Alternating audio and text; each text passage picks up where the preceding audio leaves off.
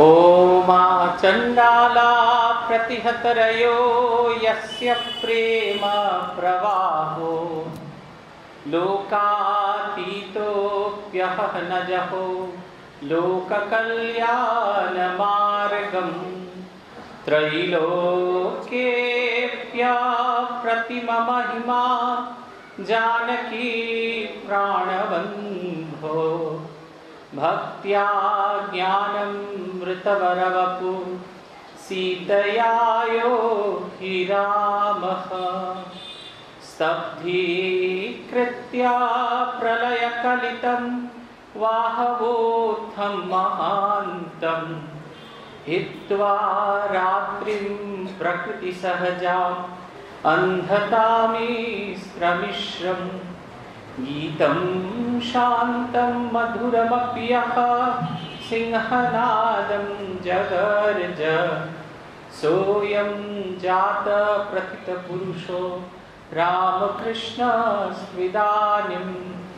जय जयो रामकृष्णो वंशकल्पो दुरु जय जयो भगवान् गुरु জয় জয় গুরু মাতা জগত জননী। রামকৃষ্ণ ভক্তি দাত্রী চৈতন্য দায়িনী জয় জয় রামকৃষ্ণ ইষ্ট গোষ্ঠীগণ। সবার চরণ রেণুমাকে অধম। শ্রী ভগবানের কৃপায় আবার আমরা সমবেত হয়েছি। শ্রী শ্রী রামকৃষ্ণ পুঁথি পাঠ এবং আলোচনার উদ্দেশ্যে। এই সারাই সারাইশুরি হওয়ার জন্য আপনাদের একটু দুঃখ সুখ হচ্ছে। কিন্তু ভেবে দেখুন যে মেঝেটায় বসে আছেন, এটা কিন্তু অরিজিনাল এর ওপর শ্রীরামকৃষ্ণদেব হেঁটে গেছেন, চলে গেছেন, এটা কিন্তু খুব ইম্পর্টেন্ট একটু পাকা টাকায় আপনাদের কষ্ট হচ্ছে একটু আলো কম লাগছে, একটু গরম ভীষণ লাগছে, আওয়াজ খুব হচ্ছে। যেটার উপর পা দিয়ে আছেন সেটায় রাজা মহারাজের ধুলিতে পুষ্ট। স্বামী বিবেকানন্দের ধুলিতে পুষ্ট ঠাকুর এই ঘরে নেচেছেন কতবার পার্শ্বদরা এসেছেন, কত ঐতিহাসিক ঘটনা ঘটেছে মেঝে তার সাক্ষী। আমরা তো সারাটা বছর কার্পেটের ওপর ছোঁয়ার চেষ্টা করি কার্পেটের মধ্যে দিয়ে। ঠাকুর এই রিপেয়ারের ছলে আমাদেরকে তাকে স্পর্শ করবার সুযোগ দিয়েছেন। এটা কিন্তু কম সৌভাগ্যের নয়। সব খারাপের ভিতরে একটা করে ভালো লুকিয়ে থাকে তো, ওই ভালোটাকে দেখবার চেষ্টা করা। এটা হচ্ছে শ্রীরামকৃষ্ণ জীবনের সবচেয়ে বড় বৈশিষ্ট্য। আমরা সারাক্ষণ ওই বলি না, মা বলেছেন, যদি শান্তি পেতে চাও মা, কারও দোষ দেখবে না, দোষ দেখো নিজের, জগতে কেউ পর নয়, জগৎ তোমার। এই সারাক্ষণ তোতা পাখির মতো বলে বলে বেড়াই। তা দুটো জিনিস কিন্তু খুব ইম্পর্টেন্ট বারবার ভুলে যাই। মা একটা যদি শব্দ ব্যবহার করেছেন। যদি মানে আলটিমেটলি আমাদের দিকে প্রশ্নটা, বলটা আমাদের দিকে ছুড়ে দিয়েছেন, আদৌ চাই কি না? শান্তি তো সবাই বলছে শান্তি পেতে চাই, কিন্তু আগে একটা ছোট্ট যদি ক্লজ জুড়ে দিয়েছেন।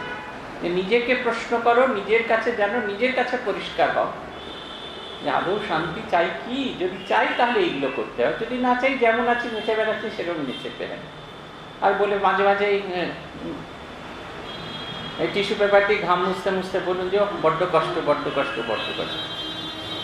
আমার তো যখনই এগুলো মনে হয়, আমাদের একজন স্বামীজি বলেছিলেন, মনে করবে ঠাকুরমা, স্বামীজি কতটা সাফার করেছে দেখবে তোমার কষ্ট আপনি রিডিউস করে যাবে, ভীষণভাবে রিডিউস করে যাবে। আমরা এক জায়গায় একটা বাড়ি উদ্বোধন করতে গেছিলাম। আমি একাই, আমরা নয়, আমি একাই গেছিলাম। সেন্ট্রালি এসি দোতলা, তিনতলা। আবার যাতে বাইরের লোকজনদের বাইরে না যেতে হয় সেখানে ঘরের ভেতর দিয়ে দোতলা থেকে তিনতলায় ওঠার জন্য একটা সুন্দর লিফট তার মধ্যে আবার কাঁচ দিয়ে ঘেরা। যাতে বাচ্চা উঠছে এমনি এমনি করে হাত দেখাতে দেখাতে দেখা যায়। শুধু রান্নাঘরটা এসির মধ্যে পড়ে না। কিন্তু তাতে যা সেই কুচ্ছি না মুচ্ছি না কিছু লাগানো রয়েছে, তাতে এতটুকু ধোলা ধোয়া নেই ধুসো নেই। দেখলাম সে যারা আমাদের খেতে দিচ্ছিলেন, তারা এমনি এমনি করে টিস্যু পেপার দিয়ে বলছেন, কী করুন কী করুন কী করুন কী করুন আমার খালি মনে হচ্ছিল, সৃষ্টি মায়ের কথা। মা ওই রান্নাঘরে কাঠের জালে বসে রান্না করতেন। কিন্তু সবচেয়ে রিমার্কেবল যেটা জিনিস হলো, মা কোনোদিন সোজা হয়ে বসে রান্না করতে পারতেন মা সোজা হয়ে কোনো ঘরে ঢুকতে পারতেন না, সেটা তো মা বলেছেন। এই শব্দটা কোনোদিন বলেনি মা কোনোদিন সোজা হয়ে বসে রান্না করতে পারেন মা যেখানটায় বসে রান্না করতেন, সেটা সিঁড়ির তলা। এখানে সোজা হয়ে বসা যায় না। অথচ আমরা মায়ের ছেলে মেয়েরা মা আমাদের এত ভালো রেখেছেন যখনই একটু খারাপ রাখেন, কি গালাগালি ভূত ভাগাই এটা ভেবে দেখুন। আমরা পড়ছিলাম কুমার সন্ন্যাসী যোগীন্দ্র ও বহু অন্তরঙ্গের আগমন এই অধ্যায়। এখানে ভবনাথের অংশ চলছিল, সেইটা অংশ থেকে আমরা এগোচ্ছি আর কি। বলা হচ্ছে, ভবনাথ যখন শ্রীরামকৃষ্ণের কাছে আসতেন, তখন সবাই তাকে ভীষণভাবে টিজ করত। তিনি বলছেন যে, তার মতে ভগবান, শ্রীরামকৃষ্ণদেব হলেন উন্মাদ পাগল। টিল না আমরাও বলি উন্মাদ পাগল। তারপরে যে টিভি সিরিয়ালে যেগুলো দেখায়, সেগুলো উন্মাদ পাগলেরই তো বর্ণনা। ওরকম কি সসর করে সবসময় তার হাত উঠেছে? তো কথামৃত যদি খুব ভালো করে পড়ে দেখেন, ঠাকুরের সমাধির কত ছবি আছে? বিছানায় খাটে বসে আছেন দুটো পা ঝুলে আছে, একটা পা উঠে আছে, একটা পা নিচেতে আছে, দরজা ধরে আছেন, গঙ্গার দিকে তাকিয়ে আছেন। একজন কেউ প্রণাম করছেন, তার, তিনি তার বুকে তার পা রেখে সমাধিস্থ হয়ে গেছেন। রাশি রাশি আছে। শ্রীরামকৃষ্ণ মানে ওই রকম নয়। শ্রীরামকৃষ্ণ মানে ব্যক্তিত্বহীন মানুষ নয় এটা বুঝলে চলবে না। তার এত ব্যক্তিত্ব ছিল, সেই সময় সমাজের যারা ক্রিম, কেশবচন্দ্র সেন, তারপরে দেবেন্দ্রনাথ ঠাকুর, মাইকেল মধুসূদন দত্ত, ঈশ্বরচন্দ্র বিদ্যাসাগর, নরেন্দ্রনাথ, এরা সব এখনকার ছেলেদের ভাষায় তাকে দেখে ফিদা হয়ে যেত।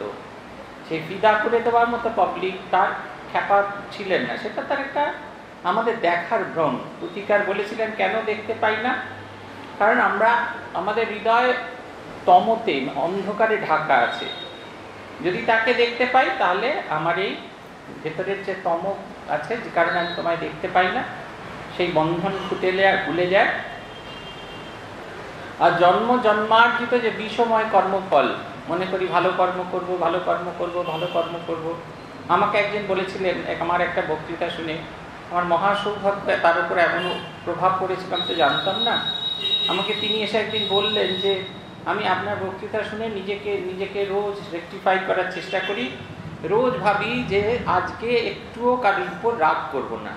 সকাল থেকে নানা দ্রুতগতি শুনিয়ে ঠিক যখন বাড়িতে ফিরব হয় গাড়ি থেকে নেমে ড্রাইভারের ওপর সারাদিনের পলিশটা করে দেবো। নাহলে বাড়িতে ঢুকে গিন্নির ওপর পলিশটা করে দিই। জানেন তো? সব এসে তীরে এসে তরি ডুবে যায়।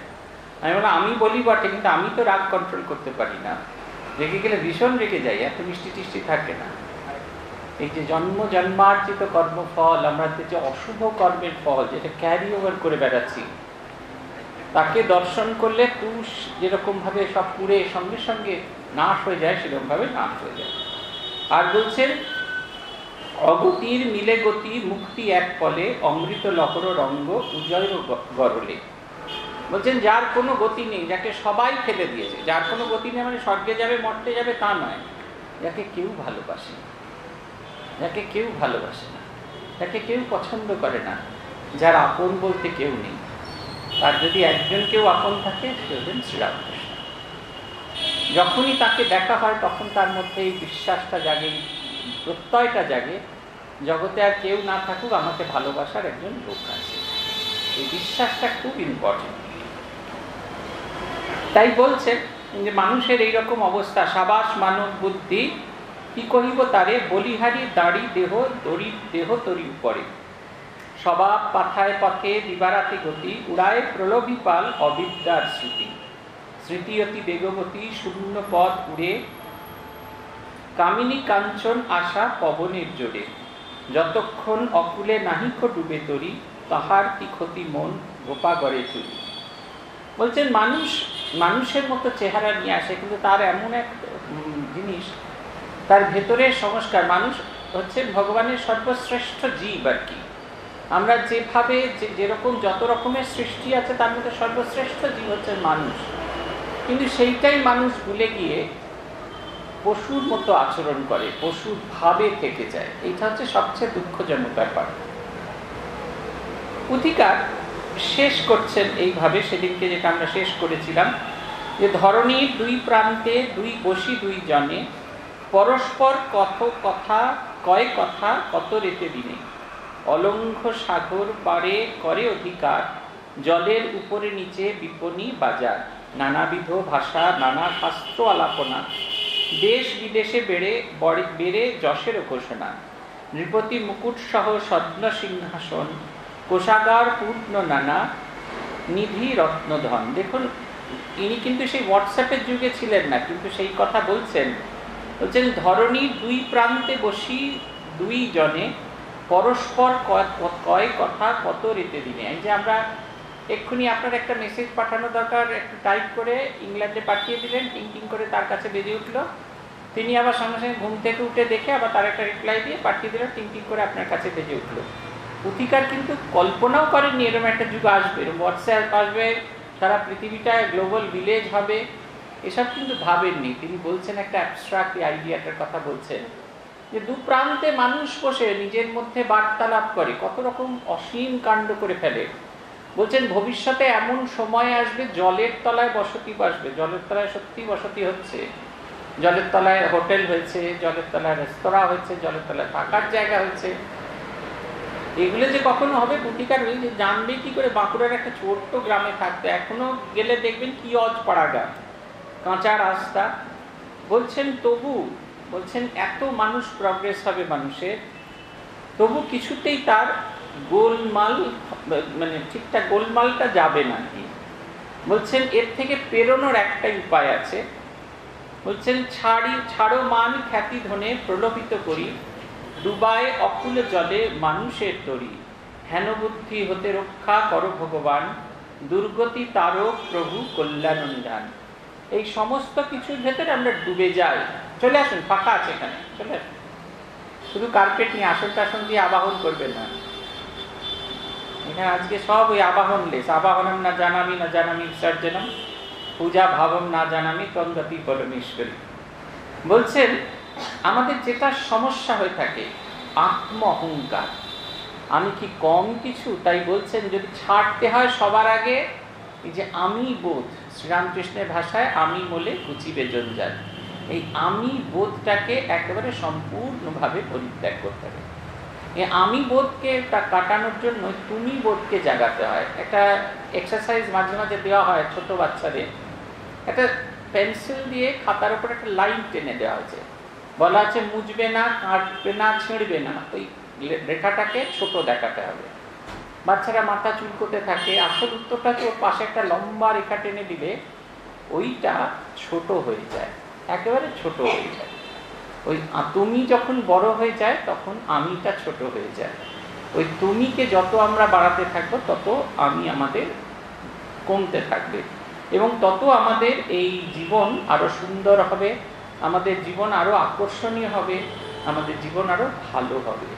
এর উদ্দেশ্যেই আমাদের যাবতীয় চেষ্টা তাই তিনি প্রার্থনা করছেন, হেন বুদ্ধি হতে রক্ষা করো ভগবান, দুর্গতি তারও প্রভু কল্যাণ নিদান। যাকে নিয়ে অহংকার, যার জন্য অহংকার, তাকে ছেড়ে আমরা আমাদের আত্ম অহংকারে মেতে উঠেছি। তাই তাঁর কাছে প্রার্থনা। তুমি ভিন্নতা আমাদের কেউ নেই। আমাদের রাখারও কর্তা তুমি, মারারও কর্তা তুমি, ফেলে দেবার কর্তা তুমি, আদর করারও কর্তা তুমি। তাই তোমার কাছে প্রার্থনা এমন বদ বুদ্ধি থেকে আমাকে মুক্ত করো। এই সেদিনকে একটা যুব সম্মেলনে গেছিলাম। একটা ছোট্ট ছেলে জিজ্ঞাসা করল ক্লাস ইলেভেনের ছেলে আমার কুবুদ্ধি যায় কি করে? আমি বললাম শ্রীরামকৃষ্ণ দেবের একটা কথা আছে পূবের দিকে যাত্রা করলে পশ্চিম পিছিয়ে যায় সুবুদ্ধির চর্চা করলে কুবুদ্ধি যায়, বলে তো ফেললাম ক্যাট ক্যাট করে। কিন্তু পরে দেখলাম উত্তরটা একবারে ঠিক ঠিক হয়েছে, একদম কাটা কাটা হয়েছে। বসুন, ওখানে বসলে পাকার হাওয়া খাওয়াবেন, এখানে এয়ার কন্ডিশন একদম। এই হচ্ছে অবস্থা। এইখানে গিয়ে আমরা শেষ করেছিলাম প্রতিকার, তারপর থেকে লিখছেন, এইখানে মন যদি প্রশ্ন করো মরে কিলয়ে চলিয়া জীবে বুদ্ধি বল ছেড়ে, শুনো তবে কই কথা, কথার উত্তর। অবিদ্যা তোষণী বুদ্ধি পায় তো তার গড়। ধন মান আশা যে বুদ্ধিতে আনে, অবিদ্যা তোষণী বুদ্ধি তাহারে বাখানে মহান ইহার সৃষ্টি মহান ইহার শক্তি সৃষ্টির ভিতরে। ভগবান বিনা ইহা সব দিতে পারে। উজ্জ্বল ঐশ্বর্য মুক্ত করে ত্রিভুবন, সৎপথে অন্তরালে রাখি আচ্ছাদন। সদা সৎ দুই এক বুদ্ধির ভিতরে, সৎবুদ্ধি নাম যার পরম সুন্দর। অসতে অবিদ্যা তুষ্ট করে দিবারাতি, সতে সদা জালে হৃদে অনুরাগ বাতি মহান আনন্দময় পরম ঈশ্বরে, একমাত্র এই সদ্বুদ্ধির গোচর। সদ্বুদ্ধি বিনার পথে রক্ষে আসা নাই। মাগিয়া চালিয়া লহ শ্রীপ্রভুর ঠাই। এক বুদ্ধি কিসে হয় বিবিধ প্রকারের জিজ্ঞাসিলে মন যদি, শুনো সমাচার। ফটিকের ধর্ম নষ্ট ধরা পরশনে। পুনশ্র ফটিক হয় ভাস্করের টানে। ধরায় কি শূন্য দেখো সেই এক জল? গুণে ভিন্ন হেন, গুণে ভিন্ন হেতা সেতা, সমল বিমল। প্রভু ভক্ত ভবনাথ সদ্বুদ্ধি গুণে, পরের ব্যঙ্গোক্তি কানে আদতে না শোনে। থাকে আপনার ভাবে, না হয় চঞ্চল। ভক্তের চরিত কথা শ্রবণ মঙ্গল। প্রতিকার বলছেন বলছেন, এইখানে মন যদি প্রশ্ন করে মনে কিলোয়ে চলবে জীব? কিলোয়ে চলিবে জীব বুদ্ধি বল ছেড়ে। শুনে ত শুনো তব ওই কথা, কথার উত্তর। অবিদ্যা পোষণ তোষণী বুদ্ধি পায়ে তার গড়। ধন, মান, আশা যে বুদ্ধিতে আনে, অবিদ্যা তোষণী বুদ্ধি তাহারে ব্যাখ্যা নেই এখন আমাদের তো সংসারে ঠিক থাকতেই হবে, সংসার থেকে পালানোর কোনো উপায় নেই। কোনো উপায় নেই। সংসার করে ফেলেছি যখন, সংসার আমাদের করতেই হবে। সংসার ছেড়ে পালাবোটাই বা কোথায়? আমরাও যারা সংসার ছেড়ে পালানোর চেষ্টা করলুম, স্বামীজি এমন একটা গেঁড়াকলের মধ্যে আমাদের ফেলে দিলেন। বললেন, ওই সংসারের মধ্যে থেকে সন্ন্যাস আশ্রমে করতে হবে। আরও বেশি কঠিন পরিশ্রমটা কঠিন। এবার ঘি আগুন পাশাপাশি রেখে ঘিয়ের স্বতন্ত্রতা বজায় রাখা, আগুনের স্বতন্ত্রতা বজায় রাখা। এটা বেশ কঠিন। বলছেন যে, তাহলে সংসার ছেড়েটা যাবে কোথায়? ভারী সুন্দর উত্তর দিচ্ছেন অবিদ্যাকে ত্যাগ করতে হবে। অবিদ্যা কি জিনিস? সংজ্ঞায় বলছেন বলছেন ধন মান আশা যশ আশা যে বুদ্ধিতে আনে, অবিদ্যা তোষণী বুদ্ধি তাহারে ব্যাখ্যা নেই অবিদ্যা কি? যে বুদ্ধির জন্য টাকার জন্য আমরা লালায়িত হই, মানের জন্য আমরা লালায়িত হই, যশের জন্য আমরা লালায়িত হই, অন্যের কাছ থেকে আশা করব, তাকে দিয়েছি, তার বদলে প্রতিদান পাবো, এই যে আশা এই যার জন্য আমরা লালায়িত হই, বলছে এই লালসা, এই ইচ্ছাগুলোকে বলছেন অবিদ্যার কথা বলছেন। কিন্তু না থাকলে তো জীবনও চলে না। ধরুন টাকা পয়সা যদি রোজগার না হয়, সৎকর্ম করবেন কি করে? ধন তো আপনার চাই। এই দেখুন না, আমাকে আঠারোশো মাকে কাপড় দিতে আপনাদের দরে দরে ভিক্ষা করতে টাকা তো চাই। এই ধন শব্দের আগে অবিদ্যা অংশটা কি হচ্ছে? সেটা হচ্ছে অতিরিক্ত বিদ্যা অবিদ্যা। এই অতিরিক্ত অতিরিক্ত ধনের যে ইচ্ছা, অতিরিক্ত মানের যে ইচ্ছা, উপকারের কাছ থেকে উপকারের বদলে আরও বেশি কৃতজ্ঞতা, এই যে আরও বেশি বেশি করে চাই, সে আমি কাউকে সাহায্য করছি, সে ইজ ফেইথফুল টু মি কিন্তু আমাদের ওই হি ইজ ফেইথফুল ওই কথাটুকুর মধ্যে আমাদের মন প্রাণ ভরে না। He must be faithful must be শব্দটা বাদ দিতে হয়।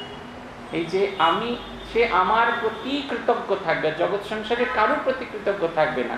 নাইনটিন ফর্টিতে সে যখন কলেজে পড়েছিল, তখন আমি তাকে একশোটি টাকা দিয়েছিলাম এখনও পর্যন্ত আমি চাই যে সেই সেই একশোটা টাকার হিসেব সে দিয়ে যাক। তা কি হয়? একশো টাকা কবে তামাদি হয়ে গেছে আমরা ভুলেই যাই। আমাদের এই ধন হলে এতটা হলে চলে যায়। আমাদের আরও চাই আরও চাই আরও চাই। মানের আশা করে থাকি আমরা। ভীষণ রকমের মানের কাঙ্গালি লোকে আমাকে মান দেবে। কিন্তু মান তো ওভাবে হয় না, রবীন্দ্রনাথ লিখছেন না রাজা সবারে দেন মান, সে মান আপনি ফিরে পান। আমরা যখন অন্যকে মানতে শিখব, অন্যকে সম্মান করতে শিখব, আপনি আপনি সম্মান আমাদের কাছ থেকে ফিরে আসবে ভাইসি বার্সা আমি কাউকে মান দেব না, আর আশা করব জগৎ সংসারে সবাই আমাকে মান দেবে। অতি হয় না হয় না, হয় কিন্তু একটি জিনিস যায় না যেটা সম্পর্কে আমাদের সতর্ক হতে আমাদের সন্ন্যাসীদের অনেক এসোনা ত্যাগ করার কথা বলা হয়েছে। মিত্তৈষণা চিত্তৈষণা পুত্রৈষণা ত্বচৈষণা লোকৈষণা অনেক এসোনা এসোনা মানে বাসনা ত্যাগ করতে বলা হচ্ছে। আমার টাকা টাকা করি থাকবে তো থাকে না ভিকারি রাখতে চলে যায় অটোমেটিক্যালি তারপরে আমার গায়ের দেখতে খুব সুন্দর হবে। যতই অ্যান্ড লাভলি মাখি না কেন, সময় আসবে রিঙ্কলস আসবে। কোনো রিঙ্কলে দু চার দিন হয়তো ইঞ্জেকশন করে করে সোজা করে রাখতে পারো, কিন্তু একটা সময় রিঙ্কলস আসবে, না এলে শরীর যখন যাবে, যখন দাহ হবে, একটা কুঁচকে এইটুকু হয়ে যাবে। এটা একবারে একবারে সত্যি কথা। আমার পৌত্র পৌত্রাদি, সন্ন্যাসীদের পৌত্র পৌত্র, পৌত্রাদি হয় না, সেটা হচ্ছে শিষ্য। শিষ্য পরম্পরা এই ধারাকে ধরে রাখবে, এটা আশা। আমার কাজ তাদের দিয়ে রাখা, সে কেমন করে ধরে রাখবে এটাও কথা নেই, সব চলে যায়। শুধু একটা জিনিস যায় না, সেটা হচ্ছে লোকই শোনা। লোকে আমায় ভালো আমাকে লোক, আহা, ওর মতো মানুষ হয় না। আমি উন্মুখ হয়ে থাকি। আমি সেদিন এক জায়গায় বলেছি অনেকে খুব অসন্তুষ্ট হয়েছিলেন আমার ওপর মায়েরা দেখবেন অনেক সময় না জেনেই করে থাকেন। রান্না হওয়ার পর যখন খেতে দেন, তখন ওই খুন্তিটাকে বা হাতাটাকে অনেকবার করে ঠোকাঠুকি করেন। বাটির গায়ে যে পাত্রটাকে দেন। একবার কর্তা মুখ ফুটে বলুক যে আজকে পোস্তর তরকারিটা সুপার হয়েছে। এইটি আমরা সব সময় চাই। এইটুকু আশা করবেন না। বলছেন, এই যে অতিরিক্ত আশা, আপনার কর্তব্য কর্ম করে যান। যত এই কর্তব্য কর্ম আমরা ঠিক ঠিক করব, আপনার ভেতরে একটা আত্মশক্তি আসবে। সেই শক্তি আপনাকে সব বিপদ থেকে রক্ষা করবে। You are well protected by that power সেই শক্তি আপনাকে একবারে কবচের মতো রক্ষা করবে। জগতে সবাই আপনাকে নিন্দা করুক। জগতে সবাই আপনাকে খারাপ বলুক, কিন্তু শক্তি, আপনার আত্মশক্তি আপনার ভেতরে এমনভাবে বিকশিত হবে যে কোনো অবস্থাতে আপনাকে সে ফেলে দেবে না, রাস্তায় ফেলে দেবে না। তাই বলছেন, এই যে ধন, মান, আশা যে বুদ্ধিতে আনে, অবিদ্যা তোষণী বুদ্ধি তাহারে তাহারে ব্যাখ্যানে। মহান ইহার শক্তি সৃষ্টির ভিতর, ভগবান বিনা ইহা সব দিতে পারে। বলছি, কি ক্ষমতা জানেন তো? ভগবান ছাড়া সব দিতে পারে। আপনাকে বুঝিয়ে দিতে পারে, আপনার মতো ঘ্যামা লোক আর জগৎ সংসারে দুটো হয় না। আপনি কিছু কম, ভগবানের চেয়ে কিছু কম, এই যে পাকিস্তান লাফিয়ে লাফিয়ে মরছে, এত মানুষ মারা যাচ্ছে, কিন্তু এমন একটা জায়গায় পৌঁছে গেছে ফিরে আসার রাস্তা নেই। ফিরে আসতে পারছে না। এরকম কত মানুষ, কত ভালো মানুষ হারিয়ে যাচ্ছে, সততার প্রতীক বলে যাদেরকে আমরা বিভিন্ন জায়গায় দেখতাম। সেই সততার চিহ্নটা হারিয়ে যাচ্ছে, কিন্তু মান, অভিমান, অহংকার ফিরে আসতে পারছে না, কোনো জায়গা থেকে ফিরে আসতে পারছে না। এই ভগবান ছাড়া সমস্ত কিছু এটা দেয়। তাই বলছেন, মানুষ ইহার শক্তি সৃষ্টির ভিতরে ভগবান বিনা ইহা সব দিতে পারে। উজ্জ্বল ঐশ্বর্যে মুক্ত করে বিভুবন, সৎ পথ অন্তরালে রাখি আচ্ছাদনা এটা কি করে? আমাদের সৎ ইচ্ছা, সৎ বাসনার উপর একটা আবরণ দিয়ে দেয়। ভারী সুন্দর একটা ডায়লগ আছে দুর্যোধনে সে বলেছিল, জানামি ধর্মম, নচমে প্রবৃত্তিম। জানামি অধর্মম, নচমে নিবৃত্তিম। ধর্ম কি তা আমি জানি, কিন্তু সেই পথে চলবার আমার ইচ্ছাটুকু জাগে না। জানা আমি অধর্ম নচমে নিবৃত্তি অধর্ম কি তাও জানি, কিন্তু অধর্ম পথ থেকে আমি এক পা সরে যেতে পারছি না। আমরা যখন নামতে থাকি নামতে থাকি নামতে থাকি, আর আমাদের ফিরে আসার রাস্তা নেই। কেন্দু গোলকের সঙ্গে তুলনা দেওয়া হয়েছে বিবেক চূড়ামণিকে। কেন্দু গোলক মানে কাপড়ের একটা বল।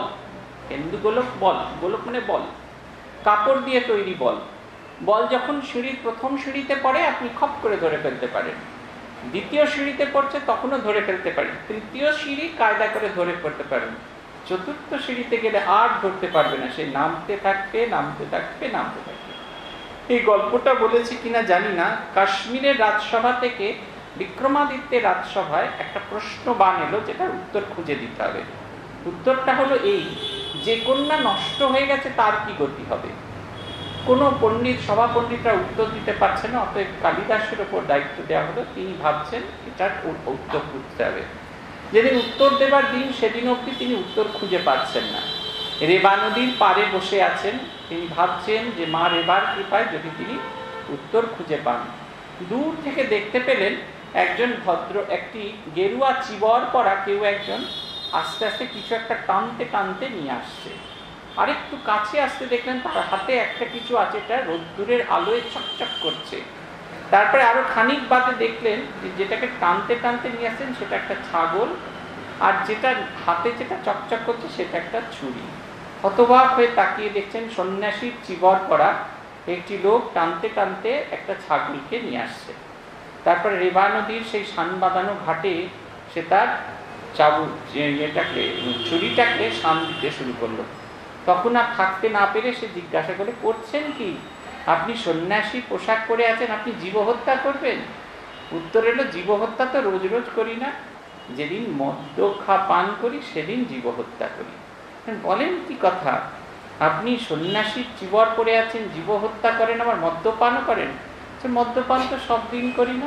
মদ্যপান যেদিন বারাঙ্গনাদের ঘরে যাই, সেদিন সেদিনকে করি? বলেন কি, আপনি মদ্যপান প্রাণী হত্যা করেন, মদ্যপান করেন বারাঙ্গনার গৃহে যান।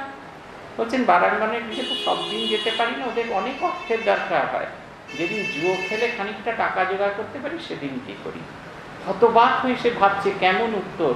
তখন সে উত্তর দিয়ে বলছে নষ্ট কন্যা কাহা গতি? নষ্ট কন্যার কি গতি হয়? এই গতি হয়। কন্যা অর্থাৎ ভাববে না যে শুধু মহিলাদের উত্তর বলছে, মানুষ, কন্যা এখানে মানুষ শব্দে। মানুষের নৈতিক জীবনের পতন যদি হয় সে পতন ধরে রাখা যায় না, সেটা ক্রমাগত ক্রমান্বয়ে নেমে যায়। তাই পতন হওয়ার আগে নিজেকে সংযত করতে হয়। শ্রীরামকৃষ্ণ পুঁথি সেই কথাই বলছেন। বলছেন, সৎবুদ্ধি নাম যার পরম সুন্দর, অসতে অবিদ্যা তুষ্ট করে দিবারাতি সদাসৎ দুই এক বুদ্ধির ভিতর, সৎবুদ্ধি নাম যার পরম সুন্দর, অসতে অবিদ্যা তুষ্ট করে দিবারাতি সতে সদা জলে হৃদে, জালে হৃদে অনুরাগবাদী। একটা মানুষের ভেতরে দুটো গুণই থাকবে, সদ্গুণও থাকবে অসৎগুণও থাকবে। তাহলে আইডেন্টিফাই করব কি করে? আইডেন্টিফাই করব এই ভেবে। সদ্গুণ কি করবে? সদ্গুণ আমার ভেতরে অনুরাগের, ঈশ্বরের প্রতি ভালোবাসার যে আগুন, সেটিকে প্রজ্বলিত করে রাখবে। আর অসদ্গুণ কি করবে? সেই প্রজ্বলিত অগ্নিকে কি করে নির্বাপিত করা যায়, তার চেষ্টা করে যাবে। তাই বলছেন সৎ বুদ্ধি সৎ বিনা পথে আশা রক্ষা আশা নাই, মাগিয়া চাহিয়া লহ শ্রীপ্রভুর ঠাই। এক বুদ্ধি কিসে হয় দিবিত প্রকার, জিজ্ঞাসিলে মন যদি শুনো সমাচার। ফটিকের ধর্ম নষ্ট ধরা পরশনে পুনস্ক ফটিক হয় ভাস্করের টানে। ধরার কি শূন্য দেখো সেই এক জল, গুণে ভিন্ন হেথা সেথা সমলে বিমল। একই মানুষের ভেতরে ভালো খারাপ এই কেমন করে থাকতে পারে? বলছেন, ওই ওপরের আকাশ থেকে যে জলকণা পড়ছে, সেটা যখন পৃথিবীর মাটিকে স্পর্শ করছে, সেটি কঠিন হচ্ছে আর একটা সময় সেটি প্রস্তরে রূপান্তরিত হচ্ছে। একই জল, যে জল আগে এরকম তরলবৎ ছিল, সেটি আস্তে আস্তে কঠিন হয়ে প্রস্তরীবৎ হচ্ছে। বলছেন, আমাদের জীবনটাও ঠিক তাই। তাহলে আমরা কেমন করে সেই জলকে জল রাখব? সবসময় নিজেদের ভেতরে অনুরাগের আগুন, বিশ্বাসের আগুন, বিচারের আগুনটিকে জ্বালিয়ে রাখতে হয়। ভবনাথের কথা বলছি, এ এ দেখবেন এই অভিজ্ঞতা আপনাদের সকলের। বলছেন, প্রভু ভক্ত ভবনাথ সৎবুদ্ধি গুণে পরের ব্যঙ্গক্তি কানে আদতে না মানে। এই যে আপনারা আজকে এখানে এসে বসেছেন, আমি রোজ এই একই কথা বলি। আপনাদের কিন্তু বাড়ির লোকেদের কাছে একটু একটু টিজ তো শুনতেই হয় হয় না? এই সব বোঝে এই চলল কর্তা গিন্নিরা কর্তাদের বলে, এই চলল, গিয়ে পাঠ শুনতে চলল স্তবটি আনন্দে আসছে, পাঠ শুনতে চলল। ঘরের কোনো কাজকর্ম নাই বিকেলে একটু বাজার দোকানেও তো করতে পারো, অতিথিরা এলে চা, জল, খাবার খেলেও এগিয়ে দিতেও পারো তো। আর নিম্নিদের বলে, এই চলল, আটা মেখে রেখে চলল, নাহলে ক্যাসারলে রুটি করে রেখে দিয়ে চলল, রাত্রি এসে ওইটাই এপিটোপিট করে খেতে দেবে। এদের কোনো সংসারের প্রতি মতি নেই, ভালোবাসা নেই, কিছু নেই। এই সুমিতা দিয়ে আর আমরা যখন ইয়েতে যেতাম বেলুন মঠ যেতাম সুমিতাদির একটা কথা এখন আমার কানে বাজে। বলছেন, বাড়িতে বোধহয় কোনো একটা উৎসব উৎসব হবে। উৎসব হবে, সবাই বলছে, এই করতে হবে, সেই করতে হবে। সুমিতাদি বলছেন, আমি যেন শুনেও না শোনার বান করে বসে আছি। আর বসে আছি বসে আছি, আর ভাবছি যে আমায় যেন খুব বেশি দায় দিলে করতে হবে, কিন্তু চেষ্টা করে যাওয়ার চেষ্টা যতক্ষণ ওপর দিয়ে বেরিয়ে যায়। তারপর একটা সময় দেখলাম উপর দিয়েই বেরিয়ে গেল, আমাকে ছুঁয়ে গেল না। আপনি যদি এরকম নিষ্পৃহ থাকতে পারেন, তাহলে খুব ভালো। বলছেন, এরকমভাবে হবে না। লোকে ব্যঙ্গোক্তি করবে, সেটা তাদের কাজ। এই ব্যঙ্গোক্তি শুনলে হবে না। এই কয়েকদিন আগে এই ওয়েবসাইটে একটা ভারী সুন্দর ভিডিও এসেছিল। এটার কথা আমি বলছি। একটা ছেলে, সুমিত সেনগুপ্ত বলে একটি ছেলে, একটা ভারী সুন্দর একটা ভিডিও পোস্ট করেছে। সে বলছে, আমার গায়ের রংটা কালো। এটা নিয়ে কিন্তু আমার কোনো সমস্যা নেই। সমস্যা যদি কারুর থাকে, সেটা আপনার আপনার আমাকে দেখতে খারাপ লাগছে। আমার চেহারাটা একটু মোটা। খেতে ভালোবাসি বলে দু প্লেট বিরিয়ানি আমার জন্য বরাদ্দ করা হয়েছে। কিন্তু তাতে আমার কোনো সমস্যা নেই। সমস্যাটা আপনার। আমাকে ডবল ভাড়া দিয়ে অটোয় চড়তে হয় না। ডবল ভাড়া দিয়ে ট্রেনের টিকিট কাটতে হয় না। আমি মোটা বলে যেটুকু কষ্ট সেটা আপনার। আমার কোনো কষ্ট নেই। আমার কথাটা একটু আটকে আটকে যায়, গোদা বাংলায় যাকে বলে তোতলা। কিন্তু আমার কথা লোকে না বুঝতে পারলে দ্বিতীয়বার জিজ্ঞেস করে। দ্বিতীয়বার না বুঝতে পারলে আমি শতপ্রণোদিতভাবে বলি, আমি তোতলা বলে যেটুকু কষ্ট, সেটুকু আমার নয়, ওটা আপনার। তারপরে বলছে, আমার হাইটটা একটু ছোট অন্য ভাষায় যাকে বলে লিলিপুর। কিন্তু সে সমস্যাও আমার নয়, সে সমস্যা আপনার। কারণ আমি জেনে গেছি, আকাশ ছুঁলেই মানুষ বড় হয় না। আমি কালো হই, কালো হলে আপনারা ভূত বলেন, ফর্সা হলে বলেন ফ্যাট ফ্যাটে, রোগা হলে বলেন সুটকি, মোটা হলে বলেন এলিফ্যান্ট, লম্বা হলে বলেন লম্বু সিং, আর বেটে হলে বলেন লিলিপুর যা কিছু বলে থাকুন না কেন, সে সমস্যাটা আপনার, আমার নয়। একবারে চোখে আঙুল দিয়ে একটা সমস্যা আমাদের দিকে তাকিয়ে দিয়েছে। এটা আমাদের সকলের ব্যক্তিগত সমস্যা। আমরা কিন্তু ভগবান কেন্দ্রিক জীবনযাপন করতে চাই। মানে সবসময় মনে করি, পাশের বাড়ির খেঁদা দাদা কি বলবে? সামনের বাড়ির গোদা দিদি কি বলবে? পেছনের বাড়ি মুটুজি কি বলবে? কে কি বলবে এই ভেবে আমরা ভগবান থেকে অনেক দূরে থাকি। আর একটা সময় হাহাকার হয়ে যায়। তখন আপনার কিছু বলার জন্য খেঁদা দাদাও থাকে না, ভোঁদা দাদাও থাকে না বুটু দিদিও থাকে না। তখন শুধু আপনি থাকেন। তখন হাহাকার শেষ হয়ে যায়। পুথিকার সেই কারণে এই উদাহরণটা দিচ্ছেন। বলছেন, প্রভু ভক্ত ভগবান ভবনাথ সৎপত্তি গুণে পরের ব্যঙ্গোক্তি কানে আদতে না টানি। আমি কারুর থেকে পারফেক্ট হতে পারব না। লোকে ব্যঙ্গ করবেই। যতই পারফেক্ট হবে সে না, এত ভালো ভালো নয়। অতএব কারুর ভালোর জন্য চেষ্টা করবেন না। নিজের ভালোটা খুঁজুন। থাকে আপনার ভাবে, না হয় চঞ্চল ভক্তের চরিত কথা শ্রবণ মঙ্গল। নিজের ভাবে ডুবে থাকে। কারুর বিষয় জানে কিন্তু খুব জরুরি। দুটো একবারে চোখে আঙুল দেওয়া উদাহরণ আমাদের কাছে আছেন এক নম্বর হলেন ক্ষুদিরাম চট্টোপাধ্যায়, দু নম্বর হলেন চন্দ্রামণি দেবী। ক্ষুদিরাম চট্টোপাধ্যায় সারাদিন নিজের কাজে এমন মেতে থাকতেন, পাশের বাড়িতে কি হচ্ছে সেটা জানার মতো সময় হয় না। চন্দ্রামণি দেবী সারাদিন কাজে এত বেশি মেতে থাকতেন, মেতে থাকার পরেও দিনের শেষে যখন নিজের খাবারটা বাড়তেন, সেটা ঢাকা দিয়ে রেখে পাড়া বেরিয়ে আসতেন। কেউ অভুক্ত থাকলে তাকে নিয়ে এসে নিজের খাবারটা দিয়ে দিতেন। একটু চিড়ে ভাজা মুড়ি খেয়ে দুকালে দুটি পান খেয়ে ঘুরে বেড়াতে হবে। এই দুটি হতে হবে। যদি আত্মনির্ভর হতে হয়, আত্মনিষ্ঠ হতে হয় অটোমেটিক্যালি জগৎ আপনার কাছে মিথ্যে হয়ে যেতে পারে। আর জগৎকে যদি আপন করে নিতে হয়, নিজের নিজের ভেতরে সেবা ভাব সেটাকে উজাড় করে খুলে দিতে হয়। এই দুটো উদাহরণ আমাদের চোখের সামনে শ্রীরামকৃষ্ণ জীবনকে কেন্দ্র করে এসেছে। আমরা যদি যে কোনো একটা উদাহরণ করে নিই, তাহলেই দেখবেন খুশি হব। এই দেখবেন চন্দ্রামণি দেবীর কোনো দুঃখ নেই, লোকে তাকে পাগল বলে, হাওড়ো বলে, তাই বলে, তার তাতে কোনো দুঃখ নেই। তিনি তার কাজটা নিরন্তর করে যেতে হবে। যদি মনে করে থাকি সেবা করব, অন্যের আঘাত শুনেও সেবা করব। আর যদি মনে করি এসব কোনো কথা শুনব না, তাহলে নিজের গর্তের ভেতরে, নিজের জীবনের ভেতরে ডুবে যাব। এবারে আবার আরেকজনের আশার গল্প সেটা বলছি। যেইখানে ভক্ত রাম ভক্তির খনি বাবারে ছুটছেন শিবজন যেইখানে ভক্ত রাম ভক্তির খনি, উঠিল তাহাতে এক সমুজ্জ্বল মণি। প্রভু ভক্ত চূড়ামণি, হিন্দুস্তানি যেতে, প্রবল অটল দাস্য ভক্তি ভাব চিতে ভৃত্য বেশে রাম বা রামাবাসে কাদামাখা গায় গুপ্ত ছিল এতদিন প্রভুর ইচ্ছায়। চিরভক্ত শ্রীপ্রভুর অনাসক্ত জনা, দুঃখিত অবিদ্যায় অতিশয় ঘৃণা। উপরে ইক্ষুর মতো কর্কশ আকার, ভিতরে মধুর ভক্তি রসের সঞ্চার। খর্বাকৃতি পৃষ্ঠকায়, বীর বলবান, সবল সকল শিরা। লাট্টু তাহার নাম শ্রীপ্রভুর দাস সেবা, ভক্তি সহকার ভক্তি ভক্তি অন্তরে দাস্যভাবে হনু যাথা রাম অবতারে। নিরক্ষর লাট্টু ভাই নাই পদ্মবোধ, বাগবাদিনীর সঙ্গে বিষম বিরোধ প্রতিকার লিখছেন বলছেন, শ্রীরামকৃষ্ণের ইচ্ছা, এই যে এক একজন করে যে তার জীবন নাট্যে আসছে, শ্রীরামকৃষ্ণ হলেন ডাইরেক্টর যেরকম আপনি যখন নাটক পরিচালনা করেন, কোন ক্যারেক্টার কখন আসবে সেটা ডাইরেক্টর ঠিক করে দেয়। বলছেন যে শ্রীরামকৃষ্ণ লীলায় কোন ক্যারেক্টার কখন আসবে সেটাও শ্রীরামকৃষ্ণ ঠিক করে দিতে আমাদের বড় আশার কথা। আমরা যে দেরি করে এসেছি বলে অনেক সময় কপাল টুকি, হে ভগবান, আগে কেন এলুম না? আগে এলে যেন এখন এক ব্যাগ নিয়েছি কৃপা, তখন হয়তো এক বোঝা, এক ইয়ে নিতাম, এক বস্তা কৃপা নিয়ে যেতাম। যদি এক বস্তা হজম করার যে ক্ষমতা আমার ছিল না, এটা আমরা বুঝতে পারি না। বলছেন, তাঁর কৃপায় আমরা যে, ঠিক যে সময় আমাদের যেটা প্রয়োজন সেটা তিনি দেন।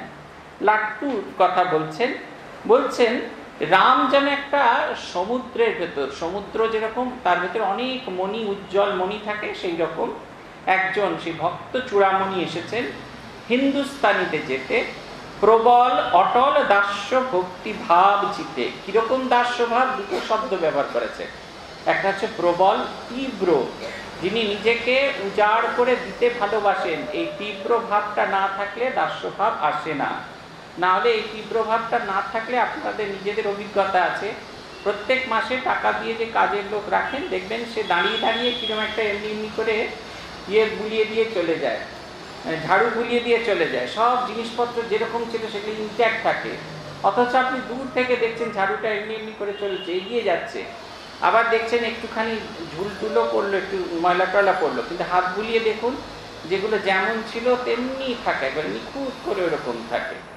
ঠিক ওই রকম প্রবল যদি না হয়, দুর্বল যদি থাকে, তাহলে এরকম হয়। এই এই কারণে বললাম, এই ঘটনাটা বলছি, প্রবল যে দাস্যভাবটা কেমন, সেটা বোঝানোর জন্য। বলছেন প্রবল আর কি অটল, কোনো অবস্থাতেই সেটা নড়ে না। আমাদের এই সমস্যা হয়, যখন ভগবান ভগবান দিতে থাকে, তখন টলাটল হতে থাকে, টলটল করি আমরা থাকি, অটল থাকি। আর যেই ভগবান না দেওয়া বন্ধ করে দেন, তখনই আমাদের এই অটলটা টলটল করতে থাকে। আমরা আর তাকে আগের মতো ভালোবাসি না। বেশ যখন দিচ্ছিলেন, তখন বড় বড় সন্দেশ টন্দেশ আসছিল। তারপর যেই দেওয়া বন্ধ করে দিলেন চিনির গুঁড়ো, তারপরে নকুল দানা এইসবে রূপান্তরিত হতে থাকে। বলছেন, এমন নয়। বৃত্ত বেশে বৃত্ত বেশে রামা বেশে কাদা মাখা গায়ে। গুপ্ত ছিল এতদিন প্রভুর ইচ্ছায়। ঠাকুরের ইচ্ছায় যেন তিনি নিজেকে কাদা দিয়ে আবৃত করে রেখেছেন। কাদাটা কি? না, কাদাটা হচ্ছে একটা অলঙ্কার, যেটা দিয়ে তিনি আবৃত করে রেখেছেন। শ্রীরামকৃষ্ণের কৃপা ঝরে পড়লে সেটা পরিষ্কার হয়ে যাবে। চিরভক্ত শ্রীপ্রভুর অনাসক্ত জানা, দুঃখী তবু অবিদ্যায় অতিশয় ঘৃণা। তিনি শ্রীরামকৃষ্ণের তার মন, প্রাণ, অন্তরাত্মা শ্রীরামকৃষ্ণকে দেওয়া আছে। এই একতলার ঘরে যদি কখনো ঢোকার সুযোগ হয়, দেখবেন লাটু মহারাজের কাছে দুটো ছবি ছিল। সেই ছবি দুটো এখনও আছে এখানে। একটা অদ্ভুত আকারে। যেমন হিন্দুস্তানিরা রামচন্দ্র এবং সীতার যেরকম ছবি ব্যবহার করে, একটা সিংহাসনের মতো বসে আছে, পেছনটা এমনি করা ময়ূর পালকের মতো, ঠিক ওই রকম দুটো ছবি আছে একতলার ঘরে পারলে গিয়ে দেখবেন। লাটু মহারাজ ব্যবহার করে সে ছবি দুটো ঠাকুর আর মায় এক অদ্ভুত ভালোবাসা তার, চিরভক্ত। অনাসক্ত, কোনো কিছুতে তার আসক্তি হতো না, তার একটা বিষয়ে আসক্তি হতো, তা হচ্ছে শ্রীরামকৃষ্ণের। আমাদের কি জানেন তো, আমাদের সব চাই। সকালে উঠে কফি চাই, তারপরে স্টার আনন্দের খবর চাই, তারপরে বাজারে নতুন ইলিশ মাছ চাই, তারপরে রান্নাবান্না হয়ে গেলে পরনিন্দা পরচর্চা চাই, বিকেলে বকুল কথা চাই তারপরে অন্য কিছু খাবার চাই, এত কিছুর পরে যদি সময় থাকে, তাহলে একটু পঁচিশ পয়সা ভগবান চাই। আর পঁচিশ পয়সায় ভগবানকে দিয়ে এক টাকা ফল চাই, সেই কারণে আমাদের কিছুই হয় না। তাই বলছেন, অনাসক্ত, জগতের সমস্ত কিছুতে অনাসক্ত। তিনি একটা জিনিসে ফোকাস করেছেন, সেটা হচ্ছে শ্রীরামকৃষ্ণ। কোনো কিছুতে তার ফোকাস নেই। বলছেন, উপরে ইক্ষুর মতো কর্কশ আকার ভিতরে মধুর ভক্তি রসের সঞ্চার। তাকে দেখতে খুব রফ ছিল, খুব সহজে তার কাছে আসতো না। কিন্তু যে তার কাছে এসেছেন, দেখা যাবে তিনি একদম মধুর, মিষ্টি ইক্ষুর রস যেমন ইক্ষু যতই কর্কশ হোক, এমনকি খেলেও খুব কষ্ট হয়। কিন্তু যখন চিবিয়ে রসটা বেরোয় এবার অপূর্ব চিনির দানার মতো রস সেইটি সেই রকম ছিলেন। এবার তার চেহারার বর্ণনা করছেন। খর্বাকৃতি পুষ্টকায় বীর বলবান। খুব ছোট চেহারা ছিল খর্বাকৃতি, তারপরে বলছেন পুষ্টকায় খুব একবারে আমার মতো এরকম টামিওয়ালা চেহারা না, একবারে পেটানো সিক্স প্যাক চেহারা। বীর, যে কোনো কাজে এগিয়ে যেতে পারতেন, আর বলবান, যে কোনো কাজ করার মতো শিক্ষিক ছিল। সবল সকল শিরা, লাট্টু তার নাম। এটা একটা সাধকের খুব বড় গুণ। স্বামীজি বলছেন তার লেখায় নার্ভস অফ স্টিল ইস্পাতের মতো শিরা উপশিরাগুলো হওয়া দরকার। কেন ইস্পাতের মতো শিরা উপশিরাগুলো হওয়া দরকার? জীবনের যে কোনো আঘাত এলে আমরা আনন্দ পেলে লাফাতে থাকি, তখন রক্ত সঞ্চালনা বেশি হয়। আবার যখন গভীর দুঃখ হয় তখনও রক্ত সঞ্চালনা বেশি হয়। আমাদের জীবনটা ছাড়খাড় হয়ে যায়।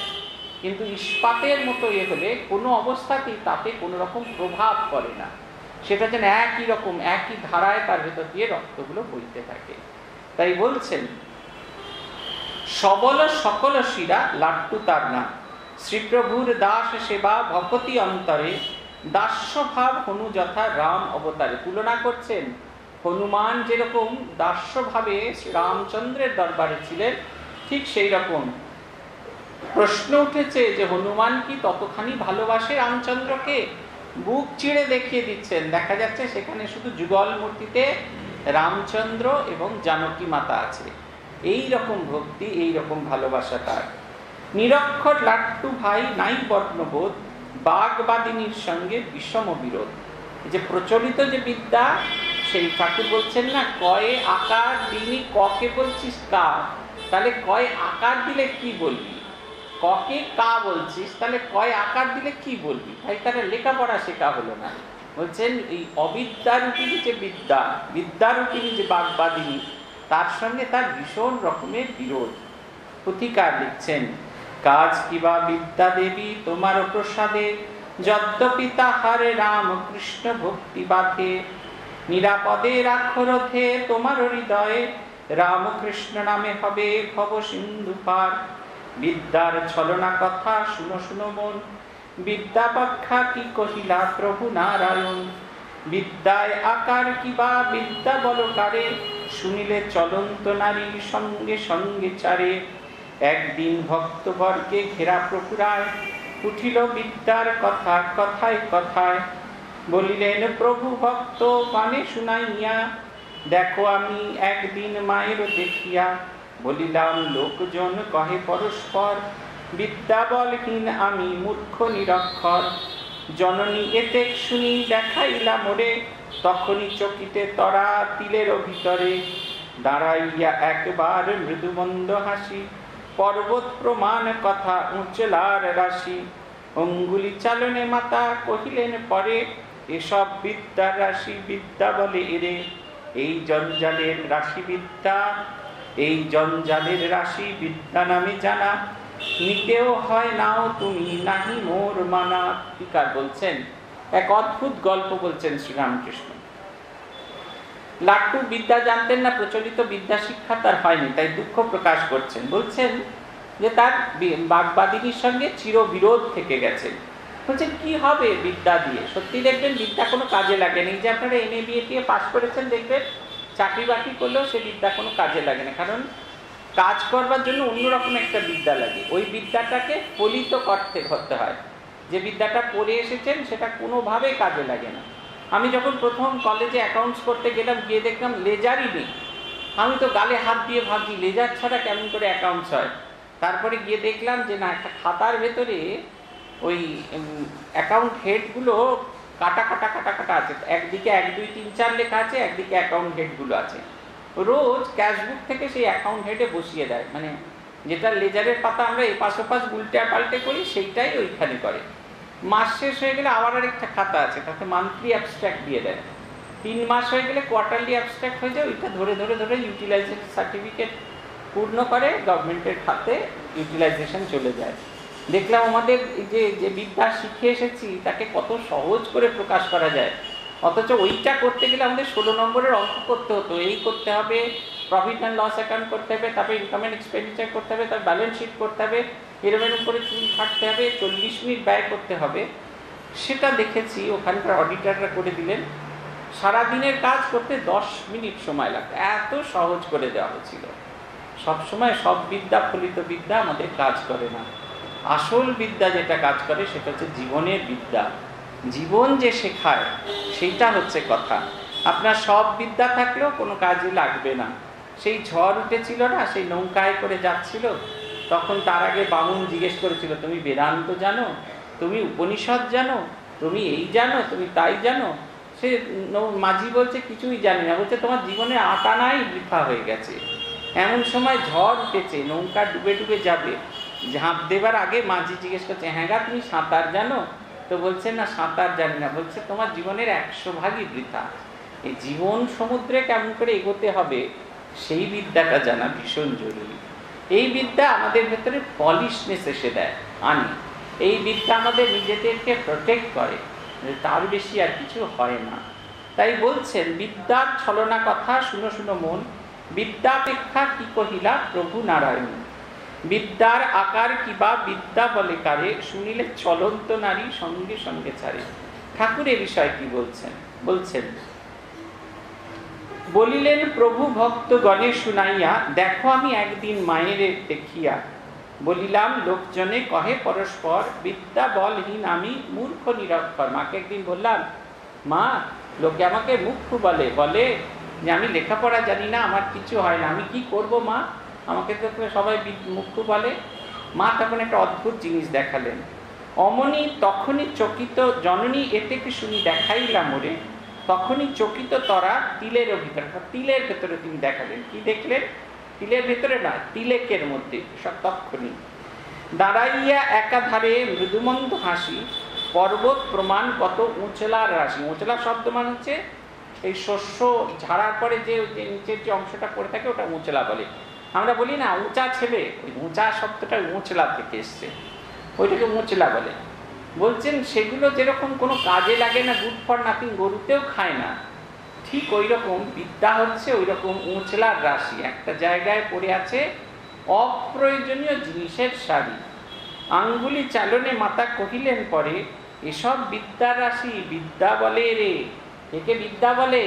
বিদ্যা মানে হচ্ছে ওই যেটা জীবনে কাজে লাগে না। বেশিরভাগ ক্ষেত্রেই দেখুন, এই যে অনেকে আপনারা হোম সায়েন্স টোম সায়েন্স পড়েন, ভাবেন হয়তো ওই থেকে যা শিখে আসবে তাদের দারুণ কিছু হবে।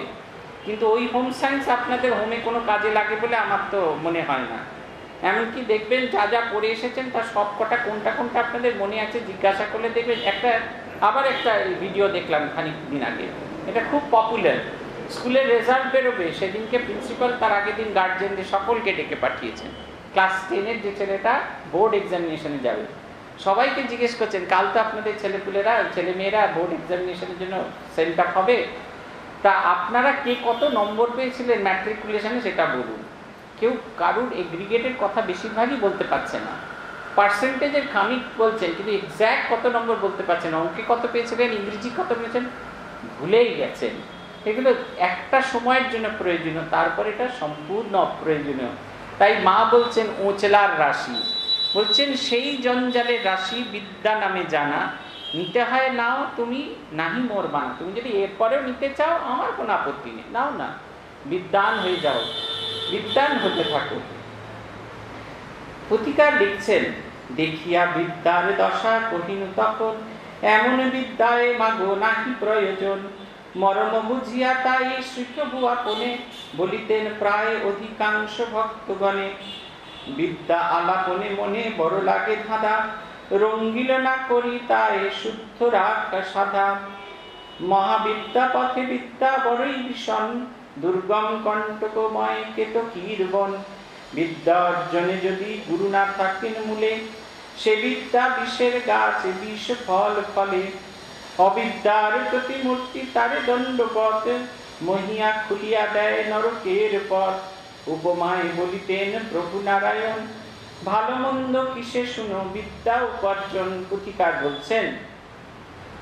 ঠাকুর তাই বলছেন, মাকে বলেছিলেন, মা, এমন বিদ্যায় আমার আর কোনো কাজ নেই। তাই তিনি সকলকে বলতেন, যে বিদ্যা লাপনে মনে বড় বা ধাঁধে বাঁধে, লাগে ধাঁধা আমার বলছেন যে তিন পাশ পাশবদ্ধ আমাদের ঠাকুরের কথায় পাশবদ্ধ হয়ে থাকি আমরা। বিদ্যা আমাদের পাশবদ্ধ করে দেয়। দেখবেন আমি এম এ পাস করলে আপনার সঙ্গে সঙ্গে মনে, ও লোকটা বিএ পাস আমার মনে আছে একজন ডাক্তারকে দেখাতে গেছিল, আমাদের বেলুর মঠে সার্জেন।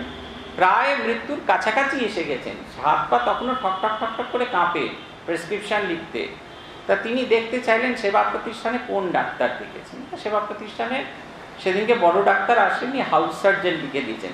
প্রেসক্রিপশনটা ধরে এরকম ছুঁড়ে ফেলে দিলেন। বললেন, আমি এমডি এই এমবিবিএস ডাক্তারের প্রেসক্রিপশন আমি দেখি না। আই সব কি কাণ্ড। এই ছেলেটাই এমবিবিএস যে পাশ করেছে, কোনো একটা সময় এমডি পাশ করবে, ওর থেকেও বড়, ওর থেকেও বড় বিদ্যার্থীরা ধারণ করবে। ছুঁড়ে ফেলে দিলেন। বিদ্যায় অহংকার দেয় আমাদের। আমি অন্যের চেয়ে দামি, আমি অন্যের চেয়ে বুঝি বেশি, আমি অন্যের চেয়ে বুঝি, অন্যেরা আমার চেয়ে কম বোঝে। এই যে মাস্টারমশাইকে বলেছিলেন যে, তোমার স্ত্রী কেমন? বলছে, আজ্ঞা ভালো, তবে অজ্ঞান। বলছেন ও তুমি বুঝি ভারী, জ্ঞান। এইটা হচ্ছে কথা। তাই বলছেন, বিদ্যার্জনে, তাহলে বিদ্যার্জন কেমন দরকার? গুরু থাকা দরকার, একজন শিক্ষক থাকা দরকার। যিনি আমাকে এই পথে চালিত করবেন, অথচ সামান্যতম অহংকার হলে ডাঙস মারবেন। দেখুন, স্বয়ং নরেন্দ্রনাথ, তিনি সমাধিতে ডুবে থাকতে চাইছেন, তাকে তিনি ডাঙস মারছেন। আমি ভেবেছিলাম, তুই বটবৃক্ষের মতো বিশাল একটা গাছ হবি তোর গাছের তলায় এসে বহু মানুষ আশ্রয় নেবে। এমন ছোট চিন্তা করতে নেই, সমাধিতে ডুবে থাকাটাও ছোট চিন্তা নরেনের প্রতি। ডাঙস মারছেন পাওহারি বাবার কাছে নিরাকার সাধনের জন্য যাচ্ছেন। রোজ রাত্রে স্বপ্নে সে ছলো ছলো মুখে দাঁড়িয়ে আছেন। কারণ নিরাকার সাধন করলে শিব জ্ঞানে জীবসেবা হবে না। এটা তার ডেস্টিন জিনিস। তিনি ওখানে গিয়ে ডাঙস মারছেন।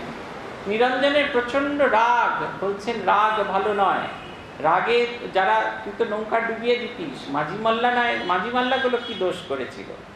আবার যোগিন মহারাজ গেছেন কড়াই কিনতে, ধর্মভয় থেকে ফুটো কড়াই নিয়ে এসেছেন। বলছেন, সে তো ধর্ম করতে বসেনি, সে তো ব্যবসা করতে বসেছে, তুই কেন যাচাই করে নিবি না? তার ডাঙস মারাটা, এখানে গুরুর প্রয়োজন আছে। আমরা ভুল পথে গেলে ডাঙস মেরে ঠিক দিকে চালিত করবে। তাই বলছেন, গুরুকে প্রয়োজন। উপমায় বলিতেন প্রভু নারায়ণ, ভালো মন্দ কিসে শুনো বিদ্যা উপার্জন? কেহ বিদ্যা শিখে লিখে বেদান্ত পুরাণ, কেহ করে জাল খত নরক সোপান দু ধরনের মানুষ। কেউ লেখাপড়া শিখে উচ্চতর বিদ্যা, আধ্যাত্মিক উচ্চতর বিদ্যার দিকে যায়, আবার কেউ তাই দিয়ে জাল করে। একই কলম লিনার্স রেনল্ডসে কত পেন বার করেছে?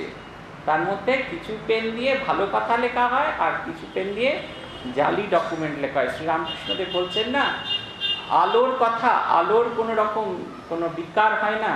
ওই আলোতে কেউ বসে ভাগবত পাঠ করেছে, কেউ নোট জাল করছে। আলো কিন্তু একই রকম থাকে। বিদ্যাকে কেমন বিদ্যা প্রয়োজন আছে, কিন্তু বিদ্যাকে কেমনভাবে আপনি ব্যবহার করবেন that is the most important thing তাই বলছেন একরূপ বটে বস্তু ভাবে ফলে ফল, অমৃত কাহার পক্ষে কাহারও গরল। মান খ্যাতি প্রতিপত্তি গোড়ায় যাহার, যতগুলি জীববুদ্ধি তাহার উপদ্দার সত্যভাব পরিহরি তমে করে হুঁস চিবায় চাউল ফেলে খোসা ভুসি পুষ এই বিদ্যা আমাদের নিজেদের মনের একটা প্রসারণ ঘটায়। এত প্রসারণ ঘটায় যে আমরা নিজেদেরকে মানুষের চেয়েও একটা উন্নততর জীব, উন্নততর মনের জীব হিসেবে নিজেকে প্রকাশ করতে পারি। কিন্তু সেই আপনার ওখানে কি হয়েছে? কি সমস্যা হচ্ছে? আপনি বসবেন না প্রণাম করবেন? হ্যাঁ? আপনার একটু জায়গা ছেড়ে দিন, উনি প্রণাম করবেন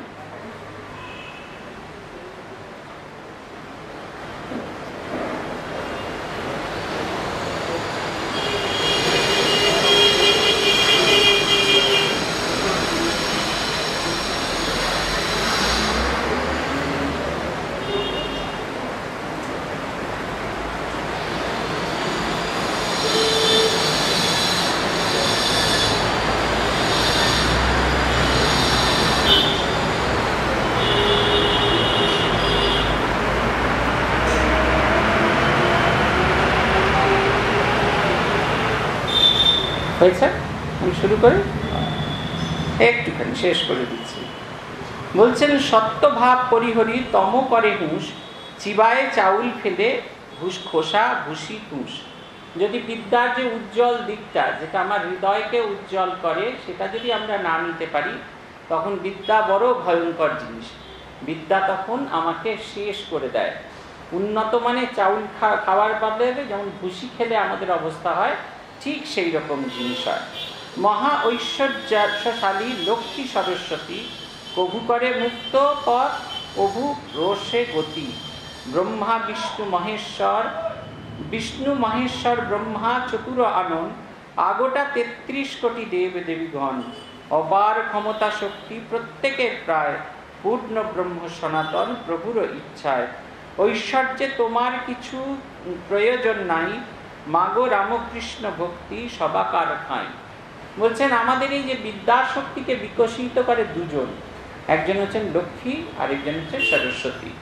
লক্ষ্মী কি করেন? আমরা তো জানি লক্ষ্মী মানে হচ্ছে টাকার দেবতা। আসলে লক্ষ্মী শব্দ শ্রী শব্দের অর্থ হচ্ছে ধন, চরিত্র ধন। বিদ্যা আমাদের ভালো মানুষ তৈরি হতে সাহায্য করে। সরস্বতী কি করেন? একটা বুদ্ধি আমরা নিয়ে আসি। সেই বুদ্ধিটাকে তিনি শান দিয়ে একেবারে তরবারির মতো তীক্ষ্ণ করে দেন। যাতে আমরা খারাপ আর ভালো যে গ্রন্থি বন্ধনে বাধা আছে, সেই গ্রন্থিটাকে খুব নির্মমভাবে, খুব নির্দয়ভাবে ছেদন করে খারাপটাকে ফেলে ভালোটাকে গ্রহণ করতে পারি। কিন্তু যদি আমরা এই লক্ষ্মী সরস্বতীর ব্যবহারটা অন্যভাবে করি, তাহলে মুক্তির বদলে এটা বন্ধনের কারণ হয়ে যায় তখন আর লক্ষ্মী ওই চরিত্রের ধন থাকে না, তখন লক্ষ্মী পকেটের ধন থাকে। তখন মনে হয়, কি করে আরও তাকে সংগ্রহ করব? কি করে আরও তাকে সংগ্রহ করব? আমার একটা খুচরো পয়সার ব্যাগ আছে। প্রত্যেক দিন আসার সময় সেটা আমি বুঝি। এই দশ টাকার কয়েন কতগুলো দিয়ে দেয় আমি এরকম বেঁকে থাকি, আমার জামাটা এমনি করে ঝুলে থাকে। এই অতিরিক্ত সংগ্রহ আমাদের ওই যে বেঁকে রাখে, ঝুলিয়ে দেয়। নিজের যে নব্বই ডিগ্রি অ্যাঙ্গেল তার থেকে একটু সরিয়ে দেয়। আর সরস্বতীও যদি ঠিক ঠিকভাবে প্রয়োগ না করতে পারি, ওই ভোঁতা চাকু, ইস্পাত খুব ভালো জিনিস, জানেন তো? কিন্তু ইস্পাতের ঠিক ঠিক ব্যবহার করার দরকার আছে। যদি ইস্পাতকে ঠিক ঠিক মতো ব্যবহার করতে না পারি, সে আমাদের রক্তাক্ত করে ছেড়ে দেয়। তাই এই দুটোকে সন্তুষ্ট করতে গেলে সবার প্রয়োজন এই ঐশ্বর্যের ইচ্ছেটাই আমাদের ছেড়ে দিতে হবে। বলছেন ঐশ্বর্যের তোমার কিছু প্রয়োজন নাই। মাগো রামকৃষ্ণ ভক্তি সবাকার ঠাঁই সব কিছুর মূলে যে মানুষ, সেই মানুষের কাছে, তার কাছে তার কৃপা পাওয়ার জন্য আমরা যেন চেষ্টা করে যাই। এইখানে গিয়েই আজকে আমরা থামলাম। আজকে আমাদের বিশেষ কিছু গল্প নিয়ে আপনাদের কাছে খুব নিরস মনে হয়েছে অনেকেই দেখছি এমনি এমনি করে ঘাটটা নাড়াচ্ছেন, কিন্তু কিছু করার নেই। পুঁথির লেখার স্টাইলটাই এরকম একটা অংশে গল্প থাকে, আবার পরের দিন তত্ত্ব কথা থাকে। আবার খানিকটা গল্প থাকে, খানিকটা তত্ত্ব কথা থাকে। ঠান্ডা গরম ঠান্ডা গরম করে সিজন করে আমাদের একটা ভালো মানুষ তৈরি করে দেয়। শ্রী ভগবানের কৃপা হলে আবার আগামী মাসে পঁচিশ তারিখ আপনাদের সঙ্গে দেখা হবে। সেটা বোধহয় দুর্গাপুজোর আগে, সেটাই শেষ বুধবার আপনাদের সঙ্গে দেখা হবে। আমিও প্রার্থনা করব ঠাকুরের কাছে, পরের দিন যেন খানিকটা গল্প বেরোয় থেকে। খানিকটা গল্প আপনাদের সাথেও করতে পারি। আজকের মতো গল্প এখানেই শেষ।